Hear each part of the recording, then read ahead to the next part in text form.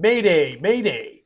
Lots of changes coming in May, starting with the FHFA's loan level price adjustments for Fannie Mae and Freddie Mac. A loan level price adjustment is typically when you see a buyer with a higher credit score get a lower interest rate or a buyer with a lower credit score get a higher interest rate.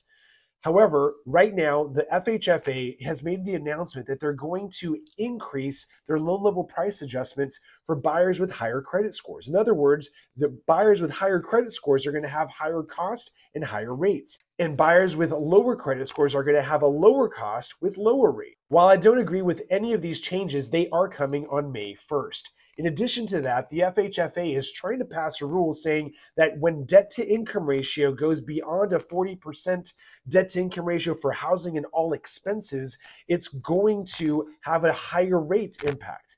Now, while you're in the loan process, debt to income ratio can adjust slightly up or down based on insurance policies or taxes. So, this could really create a detriment to buyers that are very, very well qualified. Additionally, right now is tax protest time.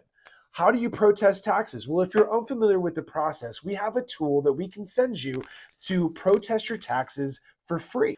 If the service saves you money on taxes, then you pay a small percentage of what they've saved you. If you'd like more information about this service or anything else loan related, give us a call.